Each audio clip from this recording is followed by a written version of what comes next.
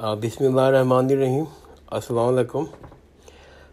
انشاءاللہ آج ہم محمد بن اب ذکریہ راضی کے بارے میں، ان کی دینی اور ان کی فلاسفی کے اوپر اور جو طب کے اندر اور باقی شعبوں میں جو ان کی خدمات ہے، اس کے بارے میں تھوڑی سی ہم روشنی ڈالیں گے۔ تو محمد بن الراضی اب ذکریہ الراضی اٹھارہ سو چون میں ان کی پیدائش ہوئی۔ اور انیس نو سو پچیس میں ان کا وفات ہوئی تو تقریباً انہوں نے اکہتر سال کی عمر پائی۔ وہ پرشین تھے، وہ پولی میتھ تھے۔ یعنی کہ جب میں پولی میتھ کی بات کرتا ہوں تو اس کا مطلب یہ ہوتا ہے کہ انہوں نے بہت ساری مختلف چیزوں پر سوچا، سمجھا اور لکھا اپنی زندگی میں۔ انہوں نے تقریباً تمام علوم جو اس زمانے میں تھے، ان کے بارے میں انہوں نے لکھا بھی ہے، سوچا بھی ہے، سمجھا بھی ہے۔ اور بہت سی کتابیں لکھی ہیں۔ وہ فزیشین بھی تھے، وہ ایک فزکس کو بھی بہت اچھی طرح سے جانتے تھے۔ ان کو میڈیسن کا بھی بہت شوق تھا۔ وہ کیمسٹری کو بھی بڑے شوق سے اور پسند کرتے تھے اور انہوں نے بہت سی کتابیں لکھی کیمسٹری کے اندر بھی۔ وہ اصل میں، انفیکٹ، اس زمانے میں بغداد میں ایک بہت بڑا ہاسپٹل تھا۔ وہ اس زمانے کی بغداد کی ایک چیف فزیشن تھے۔ اور فزکس کے حوالے سے بنیادی طور پر وہ علم کلام کے بہت بڑے کریٹک تھے۔ علم کلام کے بارے میں تھوڑا سا بتا دوں تاکہ آپ کو آگے جا کر چیزوں کو سمجھ سکیں، اس کو ربط بنا سکیں۔ علم کلام کے بارے میں یہ ہے کہ اصل میں اللہ تعالیٰ کی، کلام کرنا تعالیٰ کی صفت ہے۔ اور ذاتی باری تعالیٰ کی اور اللہ تعالیٰ کی صفات کے درمیان ربط تعلق کیا ہے۔ یہ بہت بڑی ڈیبیٹ ہے کہ اللہ تعالیٰ کی ذات کے درمیان اور اللہ تعالیٰ کی جو صفات ہیں، جو خوبیاں ہیں، ان کے درمیان تعلق کیا ہے۔ آیا اللہ تعالیٰ کی صفات اللہ تعالیٰ کی ذات کا حصہ ہیں؟ یہ ایک بہت بڑا ایک ڈبیٹ ہے۔ یا ان کی ذات بذات ہے یعنی کہ ان کی ذات سے باہر ہیں۔ تو یہ علم کلام کا بہت پیچیدہ مسئلہ ہے۔ اس میں سارے فلاسفر نے اور سارے تھنک ٹینکر نے اپنی رائے کی، رائے دی ہے۔ لیکن تقریباً سارے لوگ اجتماعی طور پر اس پہ ایگری کرتے ہیں۔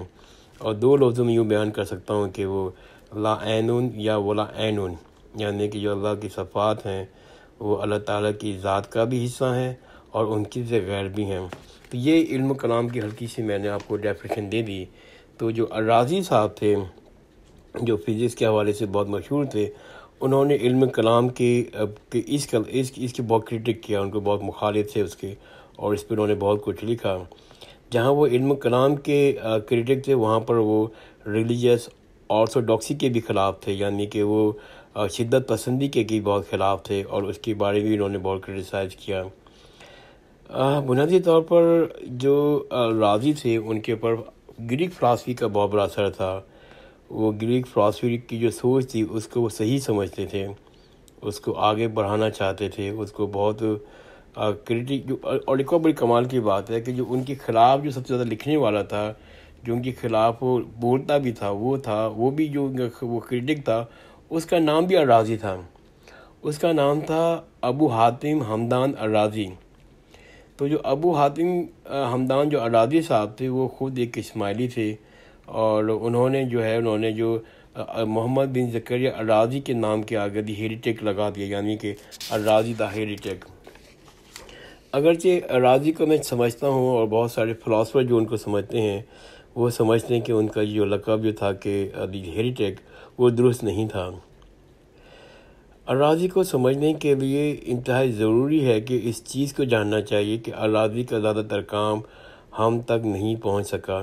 یہ ہماری بد نصیبی ہے، یہ ہماری بدقسمتی ہے کہ ان کا زیادہ کام ضائع ہو گیا۔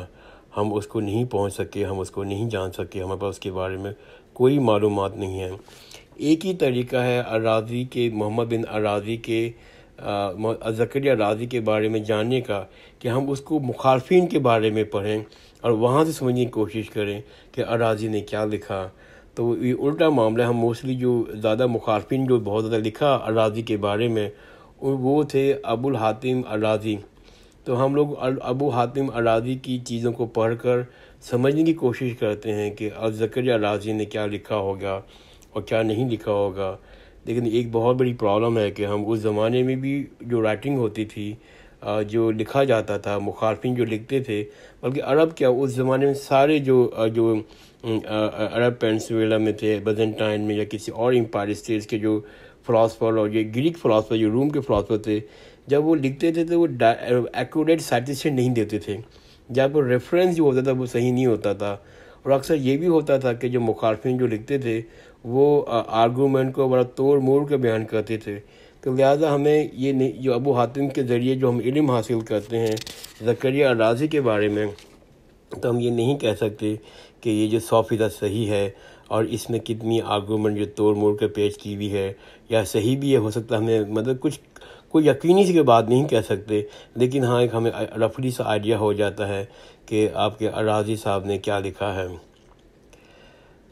اراضی ایک ڈاکٹر تھے اور وہ بہت ہی حساس نیچر کے انسان تھے، بہت ہی محسوس کرتے تھے، بہت سینسیٹیو انسان تھے۔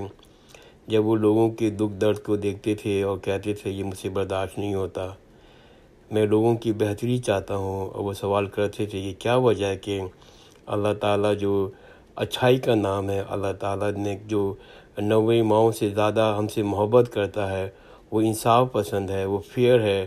اس میں تمام خوبیاں ہیں جو رحمت کی رحمت ہم پر ہم پر رحمت کرتا ہے۔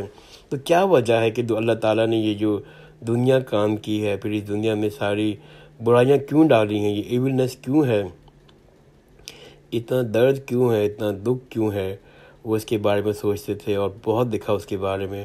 فائنلی انہوں نے یہ جواب دیا کہ جو سفرنگ ہے، دنیا میں جو غم ہے، دنیا کے اندر جو دکھ ہے، وہ اس وجہ سے نہیں کہ اللہ تعالیٰ نے دکھ ہم کو دیے ہیں، بلکہ اس وجہ سے یہ ہے کہ ہماری سول نے، ہماری روح نے ایک بہت ہی غلط فیصلہ کیا۔ وہ فیصلہ یہ کیا کہ ہم مادی چیزوں کی طرف جڑ گئے۔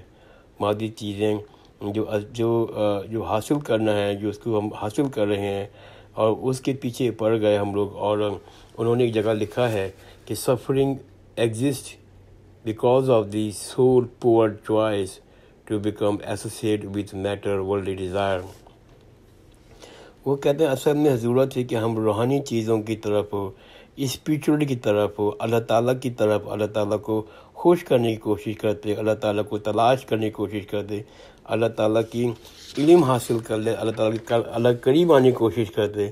لیکن ہم نے کیا، ہم نے کیا کیا، ہم نے ان سب چیزوں کے پیچھے چھوڑ دیا اور ہم نے اللہ تعالیٰ کے نافرمانی کر رہے ہیں۔ اللہ دولت کے پجاری ہو گئے ہیں، دنیا کے پجاری ہو گئے ہیں اور ہماری نافرمانی پہ نافرمانی ہے۔ جب ہم اپنی روح کے خلاف کوئی کام کرتے ہیں تو ہماری روح جو ہم کوئی گناہ کرتے ہیں، کوئی بڑے گناہ کرتے ہیں، تو ہماری روح چیختی ہے، چنگارتی ہے اور روتی ہے۔ لیکن ہمیں اس کی آواز نہیں آ رہی ہوتی اور پھر مسلسل گناہ کرنے کی وجہ سے جو ہماری روح ہوتی ہے، وہ پس مردہ ہو جاتی ہے، وہ مایوس ہو جاتی ہے۔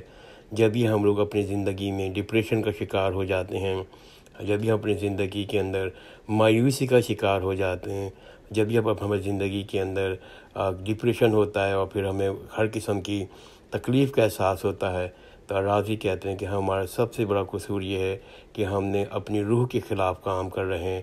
ہم اپنی روح کے، کی نافر تکلیف دے رہے ہیں، اللہ تعالیٰ کی نافرمانی کر رہے ہیں۔ اور یہی وجہ ہے کہ دنیا میں غم اور سفرنگ اور پین ہے۔ راضی جو تھے وہ ایک مکمل طور پر ایک ریشنل کنسسٹنٹ تھے۔ اس سے میری مراد یہ کہ وہ بنیادی طور پر سمجھتے تھے، قدرت کا جو اپنے اصولی قوانین ہیں اس کو توڑا نہیں جا سکتا، ان کو امینڈ نہیں کیا جا سکتا، ان کے اندر کوئی چینجز نہیں لا سکتے، بلکہ بنیادی طور پر وہ ٹھوس ہیں، اپنی جگہ قائم ہے لہذا اس حوالے سے یہ کہا جانا کہ آ، حضرت صلی اللہ علیہ وسلم کا جو پیغام ہے ان کا جو دین کا پیغام ہے، جو ان کی سچائی کا پیغام ہے، اس کو دل و جان سے مان لینا چاہیے، نہ کہ ہم اللہ تعالیٰ کی، آ، حضرت صلی اللہ علیہ وسلم کی میراکل کے اوپر یا کسی اور وجہ سے ان پر ایمان لانا چاہیے۔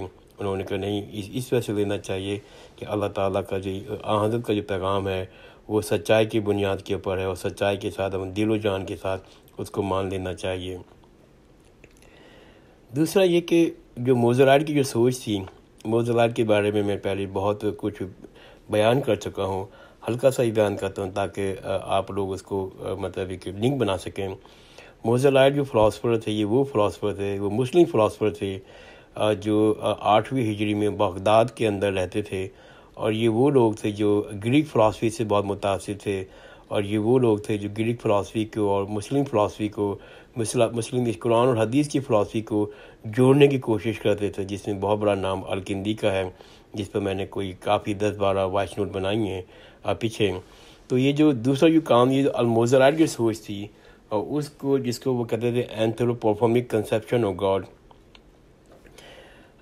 anthropomorphic conception God مطلب یہ ہوتا ہے کہ اینتھرو پرفارمک مطلب ہے کہ ہم ہیونگ اے ہیومن کریٹسٹک یعنی کہ ہم اللہ تعالیٰ کو جاننے کی کوشش کرتے ہیں، انسانوں کی خوبیوں کے ساتھ مقابلہ کر کے، یا کوئی جانوروں کی خوبیوں کے ساتھ مقابلہ کر کے، یا پھر کوئی آبجیکٹ ہے، اس کی خوبیوں کے ساتھ مطالعہ مقابلہ کر کے تو جو موزرائٹ کی یہ سوچ تھی کہ وہ اینتھ پرفارمک کنسپشن گاڈ اس کے بارے میں اراضی نے بہت کرٹیسائز کیا انہوں نے کہا کہ کہ یہ جس یہ جو جو ریلائنگ وہ کہتا ہے کہ اراضی criticized the Mutazilites who accepted the anthropomorphic conception of God and those relying on the تقلید رادر دین عقل یعنی کہ اراضی چیزیں خلاف تھے کہ ہم لوگ اللہ تعالیٰ کو جانیں، اللہ تعالیٰ کے بارے میں معلوم کریں، علم حاصل کریں، کمپیئر کر کر انسانی خوبیوں کو اور جانوروں کی باقی چیزوں، خوبیوں کے تو اسی خلاف تھے۔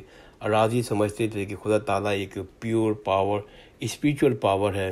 وہ مادی قوت نہیں ہے اور یہ کسی کسی طرح سے بھی اللہ تعالیٰ کو ان مادی چیزوں کے ساتھ کمپیئر کرنا یہ کوئی ریزنیبل یا جسٹیفیکیشن بات نہیں ہے۔ تو وہ کہتے ہیں اللہ تعالیٰ ایک پیور پیور اسپریچول پاور ہے۔ مزید یہ لوگ اس پہ بہت تنقید کرتے تھے کہ جو لوگ تقلید کرتے ہیں یعنی کہ وہ وہ اپنی عقل کا استعمال نہیں کرتے، بس چیزوں کو برائنڈلی اپنے اوپر اپلائی کر دیتے ہیں۔ تو اس کی وجہ سے بعض اوقات تقلید کی وجہ سے آپ غلط ڈائریکشن پہ چلے جاتے ہیں۔ اللہ تعالیٰ کو تری پہنچ نہیں پاتے ہیں۔ اللہ تعالیٰ کی خوشنودگی حاصل نہیں کر پا رہے ہوتے ہیں۔ اور اور اپنی کوتاہی کی وجہ سے وہ گناہ کی طرح مبتلا ہو جاتے ہیں۔ تو راضی کہتے تھے کہ ہمیں تقلید پہ کام نہیں کرنا چاہیے، عقل کے ذریعے اللہ تعالیٰ کو جاننا چاہیے۔ راضی کا اور بہت سے کام ہے انشاءاللہ میں اپنی آئندہ کے وائس نوٹ پر ان پر مزید آپ سے علم شیئر کروں گا۔ جزاک اللہ خیر خدا حافظ۔